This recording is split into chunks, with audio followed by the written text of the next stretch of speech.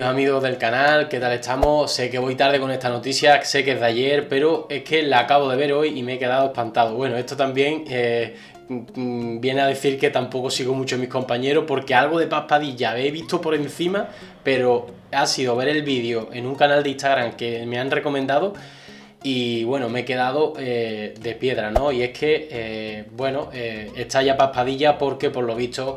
Eh, bueno, Paspadilla estaban hablando en Sálvame de las típicas tonterías, ¿no? Y ya un momento que se enfada Paspadilla y dice, pero vamos a ver, como diciéndole a los colaboradores, ¿no? Ustedes que os estáis quejando de haberlo pasado mal, haberlo pasado mal. Pues lo voy a contar. Yo sí que lo he pasado realmente mal y lo he pasado realmente mal por algo de verdad. No como diciendo, ¿no? No por, por vuestra chorrada. Y es que en una revista se publicó la lápida de su marido fallecido eh, en una revista eh, simplemente para ganar dinero. O sea, qué ruin y qué mezquino tienen que ser para hacer eso.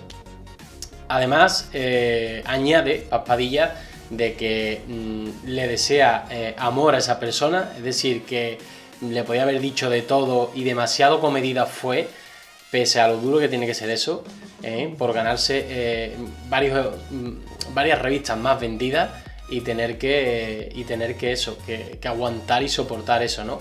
Así que estoy totalmente de acuerdo con Paz Padilla, espero que este tipo de cosas no se hagan.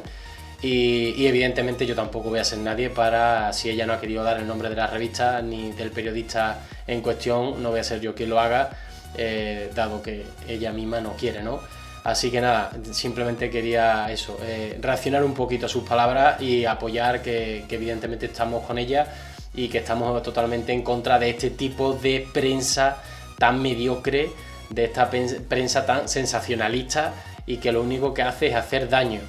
A nadie le interesa ver la lápida, creo que, en fin, yo creo que es demasiado mezquino haber buscado esa foto, o sea, ni me lo imagino.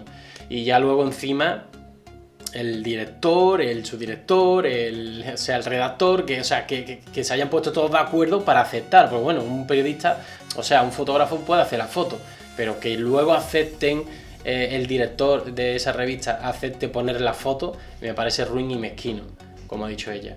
Así que nada, amigos, me gustaría que dejaseis vuestro comentario. Como ya sabéis, nos vemos en el siguiente vídeo. Saludos.